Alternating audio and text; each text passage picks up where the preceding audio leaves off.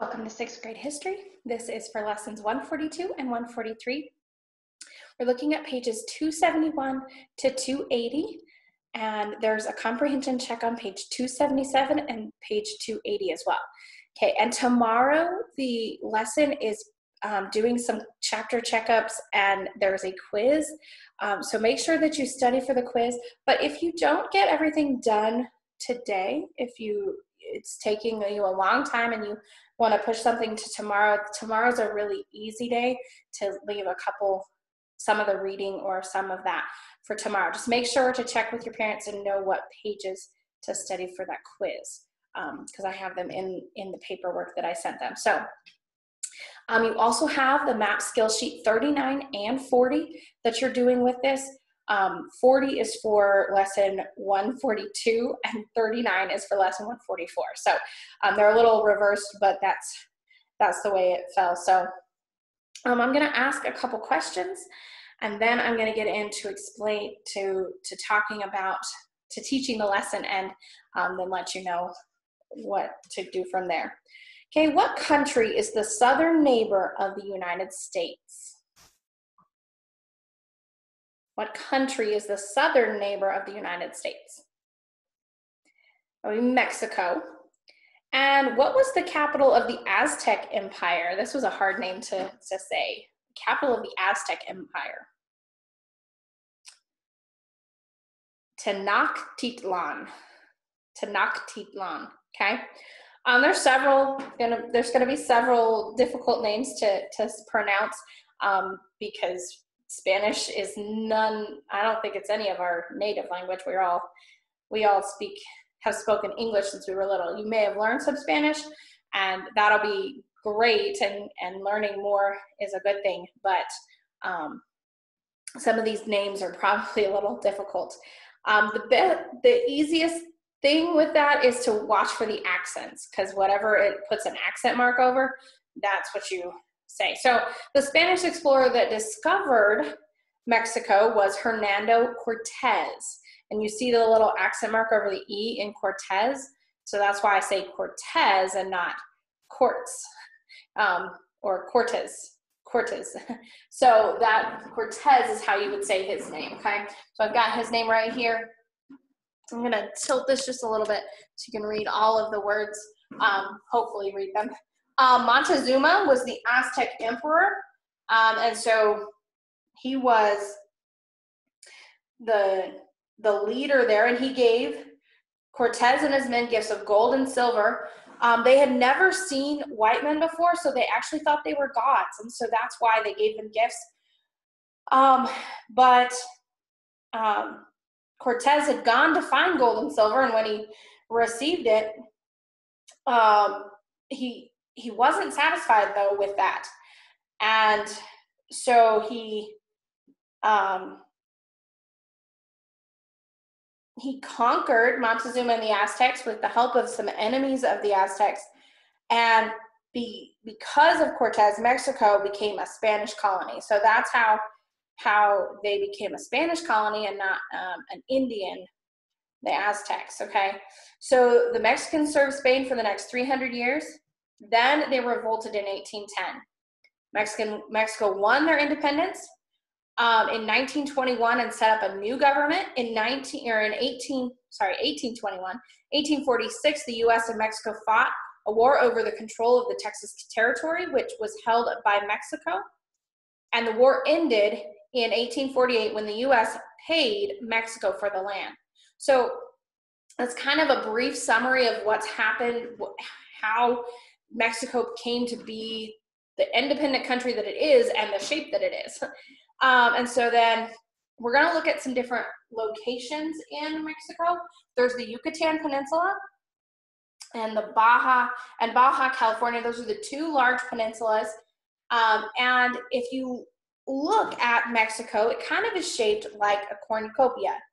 Um, that's the horn of plenty, is what that that the cornucopia is um, that you might see around Thanksgiving. And so um, those peninsulas are part of um, part of Mexico, as you can see on the map. and then the Rio Grande is the river, the, it means great river, um, that forms the border between the US and um, Mexico. Um, there's the Isthmus of Tehuantepec, um, and that is, let's see.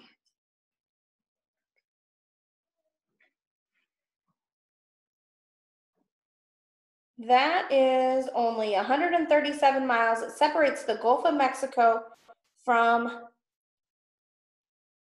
oh from the from the Pacific Ocean. So they're down. Um, so if you go south of the Yucatan Peninsula and look there, still in the orange section, there's the Isthmus of Tehuantepec.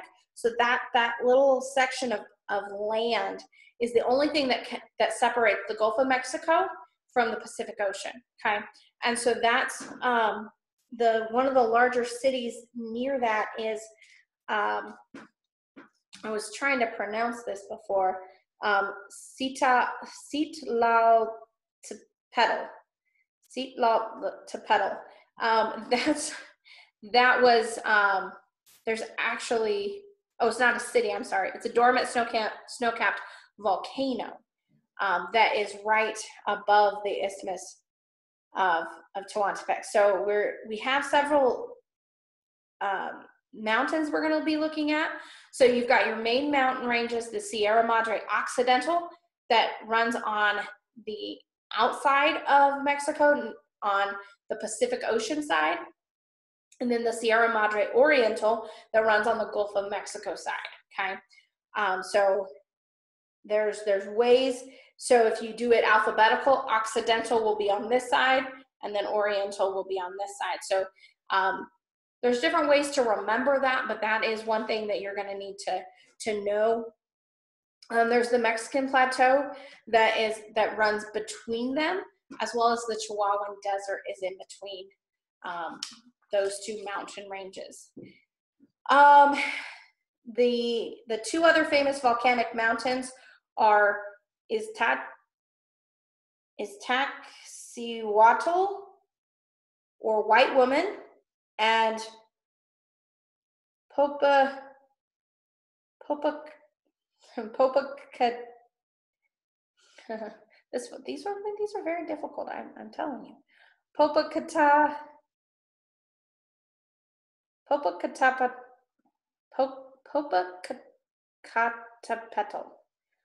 meaning smoking mountain, Popocatépetl. Okay, they are both more than 17,000 feet high, and so that's that's their um, those are the two other famous volcanic mountains, and um, the Mexicans Mexicans highest point is that first one, um, Citlaltepetl. Okay, um, I'm sure you're getting a kick out of hearing me pronounce these words. You could just um, try to pronounce them for me later, and then we'll see who's laughing. um, we'll both be laughing, I'm sure. Um, the capital city is Mexico City, and so um, that's right. Um, it's below the the Mexican plateau near the bottom of it, still between the the two mountain ranges there's lots of climate, different climates in Mexico because it is so vast and um, so widespread. The Tropic of Cancer runs through the middle of Mexico. So half of the country lies in the tropics and half in the temperate zone. The northern half is mostly desert. You've got the Chihuahuan Desert, Sonoran Desert, um, which is semi-desert. Um, and then you've got the in the south less tropical jungles. It's got the Caribbean coastal plain. Um, and so then the mo- some of the most colorful birds live in that area. Um, the the altitude affects Mexico a lot, as as you can as you'll be reading there. Um, you're gonna I'm gonna have you read the page on 272 about the Spanish language on your own and just just see if you can pronounce all of those um, and and follow the those um, pronunciation keys there to help you with that. Um, but we're going to move on to the natural resources. Um, silver and gold are, of course, um, big natural resources there. There's also petroleum. Um, it's Mexico's greatest natural resource. Um, you'll be reading about the different types of, of plant life that's there. Um, so the flora is what is what plant life is, um, and there's more than a thousand types of, of cactus plants. Um, there's the the desert plant candelilla, um, and that actually means little candle. So it sounds kind of like candle, right? Um, but that means little candle, um, and it's it is they have many thin pencil-like stems that are coated with wax that help conserve its moisture. So then they boil off the wax and sell it for shoe polish and car and floor wax, candy, and crayons. Um, so then, you know, there's lots of different types of flowers, azaleas, chrysanthemums, geraniums, orchids, and poinsettias. Um, there's a lot of forest in Mexico, as as as you you can see some of that. Um, there's that sapodilla tree. It oozes sap, and it's a major ingredient in chewing gum.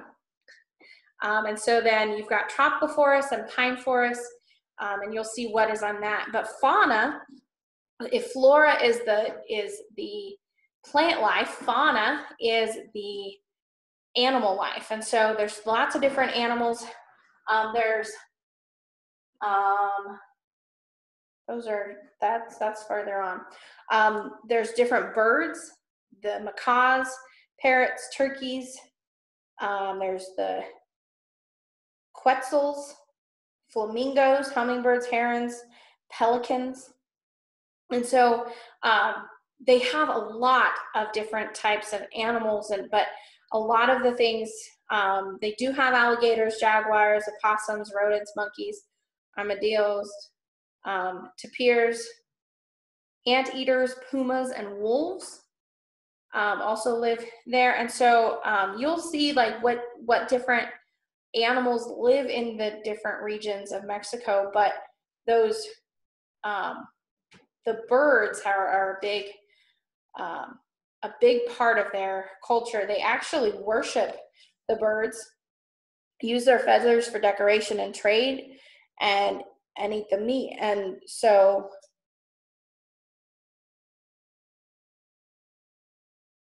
um, so you'll see that. Uh, the, in Mexico today, there the main three main groups of people are Indians, Europeans, and mestizos. Most Mexicans are mestizos, a mixture of Indian and European an- ancestry, and so they have, you know, they intermarried with with people that had had moved there, and so that's what most Mexicans are, and um, they in their city they have over 16 million people in Mexico City, and um, in 2000 it was the third largest city in the world. Um, Paricutin there that of special interest. I'll let you read that about um, that volcano. Um, and some different things about that. And then um, the other large cities, there's Monterrey, um, and it's the center of the steel industry. There's Guadalajara. It's a it's a big tourist spot. Um, Mexico Mexican cities are built around a central area called a plaza. And so the plaza would be the public meeting place. They would probably have like a fountain. In many of those cities, they have a statue of a or the, the villages, they would have a statue of, um, I, I forget his name. There, there's a there's a famous statue that that is in many of those villages, um, but the they have uh, because of their climate most people in the village eat a large meal about two o'clock in the afternoon, and then they take a nap or a siesta um, because in, that's the hottest part of the day, and they don't want to be active in the hottest part of the day because they can you, you overheat and and there's problems. And so that's what they've done for many years. Um, you've probably had some some different mexican food tortillas. Um, they mexicans raise cattle chickens turkeys hogs uh, all for meat. Beans are used in chili and as a filling for tortillas. Um, they've got a lot of spices. And so some things just some things are really like probably too spicy for me. And some things um, just just add that flavor. And so um, they've got uh, fruit juices hot chocolate milk and coffee are their favorite beverages. Um, many of the men wear uh, the, the traditional Mexican clothes are wool or cotton, and they'll wear a sombrero with the wide brim to protect from the heat. Um, and then uh, the women wear cotton blouses, full skirts, um, and then they have like ponchos that they can wear. That's that triangle shaped um, wool cloth. And um, they, there's also a serape that is worn over the shoulder during the day um, and at night it can be used as a blanket. And so they have they have a lot of things that are multi-purpose um, which is very very good. Uh, for recreation they ha- would have their big celebrations are called fiestas. And then they have um, bullfights.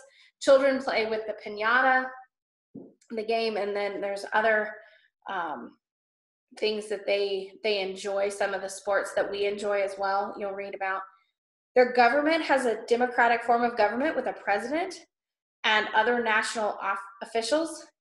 Um, it has great power over the people, though, um, unlike the U.S. And the their government has taken away um, private farms and, and other things that they deem that the government needs, and so that's not as as good. Um, recently, however, they have been allowing more people more freedom to own land, uh, make their decisions and some choices.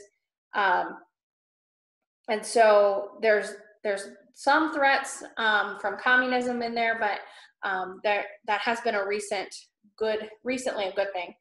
Um, Central America is the one the region below that, and the the countries of that are Belize, Guatemala, Honduras, El Salvador, Nicaragua, Costa Rica, and Panama. And we've looked at those on the map, but then we're going to look at them a little bit closer here. Um, lake Nicaragua is the largest lake, and unlike on on the um, in this region in, in all of Central America, and unlike other freshwater lakes, it's the home of certain animal species such as sharks and swordfish that are usually found only in the ocean. Um, there's two long rivers, the San Juan and the Coco are the two long rivers in Central America. Um, the Mayas built the first greatest civilization of the Western Hemisphere, um, and they lived on the Yucatan Peninsula, which was part of uh, and and part of Guatemala and Belize um, for a long time, and and long before the Toltecs and the Aztecs came about. Um, you're going to read about the Mayans and their um, just some different things they built at Chichen Itza on the Yucatan Peninsula. Um, tourists can see the ruins of the Mayan temple, observatory, and stadium, and so those are things that that structures that are still standing today that can be seen. Um, they have many natural resources like coffee, bananas, cacao, which is where chocolate comes from, cotton, and sugar. And um, the main export item from this region is coffee. Um, and so I know I enjoy coffee, but um, you guys are still younger, but some of you might like coffee. Um,